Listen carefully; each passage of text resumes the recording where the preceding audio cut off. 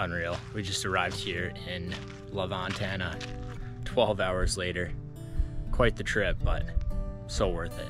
Humid, uh, warm, it's like 30 degrees and sun is setting, so pretty cool. Time to relax tonight, just get all the gear organized and just get ready for tomorrow. Get ready for the next epic three days of spearfishing. La Ventana, Baja, Mexico. Let's go, baby. To start the rebuilding of life. The roads that lay open are many. When the old one's gone under the knife, and I can feel the sun on my skin. The, the mahi mahi are too uh, too good to pass up, so we're gonna head straight for them. And supposedly it's like a, a one in a hundred year for, for these fish here. Supposedly just unbelievable. So we're heading straight to mahi and gonna get right into the action. Man, what a freaking day! Unbelievable.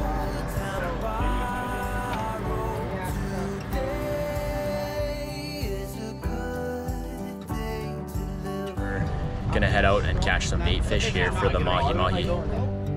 This morning has a clear light as any to see the horizon and the far. Excuses were two for a penny, but they've all gone out the window of this car. And when I feel the wind on my face.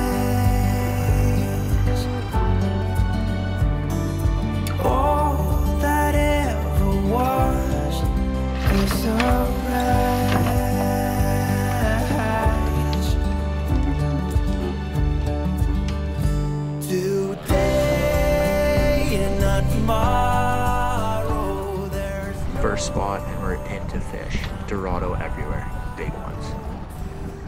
Just get the gun ready and a lot the water. But Dana just got broke off. Spear need break. Euro 75. Hopefully it performs. Gonna flip the have the reel ready to be flipped, but some huge fish here. Our guides dropped us out in the blue water in about 300 feet. Nothing below us except bait fish and whatever else you could imagine. It took me about 30 minutes to try and process what was going on. And once the adrenaline faded, I started throwing the flasher. Splash. You watch it go down, just waiting for something to come check it out. You would wait a few seconds, and then go grab it and do it again. After about the third throw, a mahi appears, and another one, and another. I was in the school. Now, just to find a mature fish to shoot.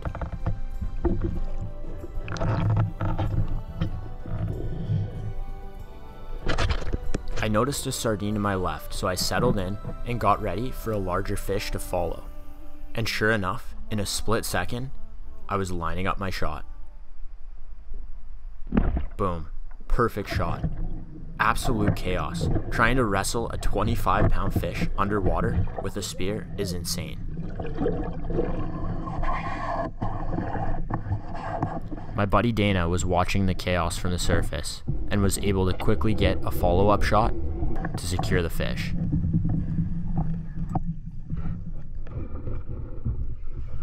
You have to keep tension on the line, but not too much that you tear the spear from the fish. Once I played the fish for about 10 minutes, it got tired. I managed to bear hug it and throw it in the boat. Unreal. My first mahi mahi on the spear.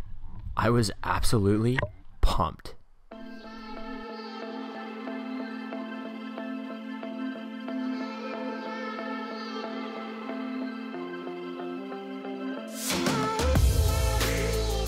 After taking a few minutes on the boat, taking it all in, and snapping a few pictures, Dana was hooked up on an absolute monster.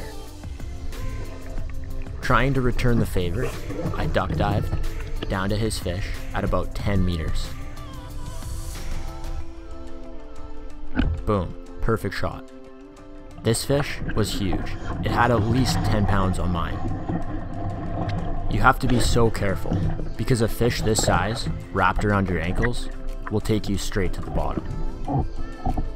We played this fish for over 15 minutes.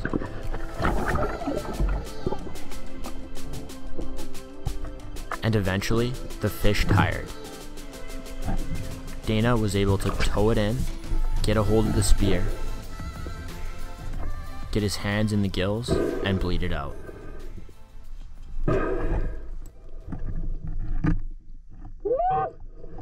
He's huge.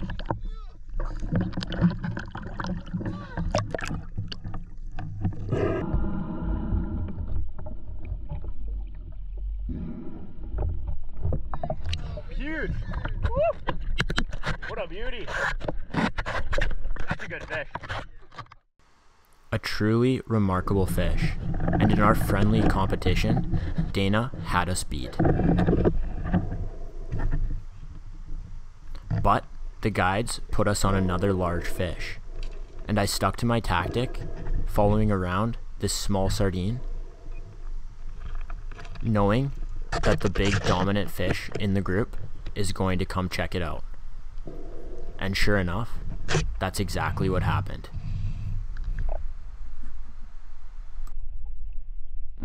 Fish on, but my shot was low.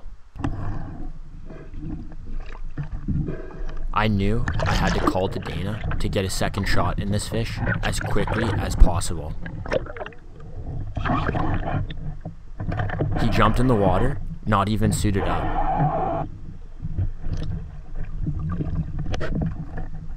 I was letting the fish run, trying not to put any tension on it. The spear was hanging by a thread.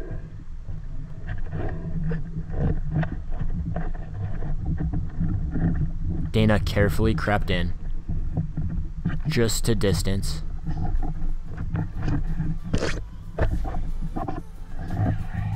And made a perfect shot.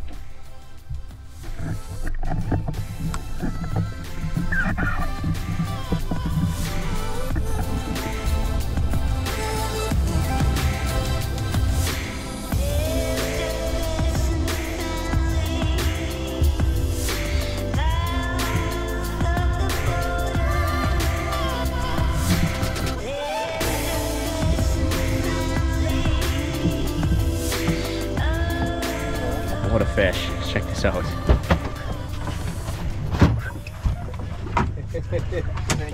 Twenty kilos.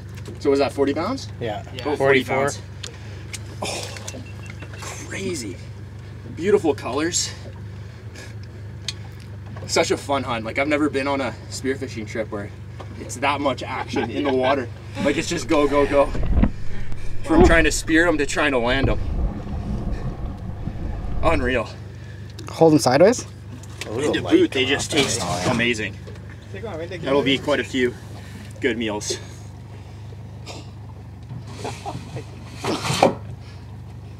Unreal. Unreal. second spot here.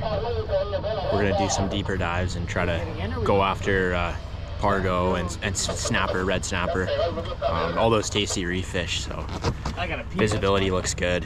Be about 40 to 60 feet and be able to sit on the bottom and waiting game. So should be fun.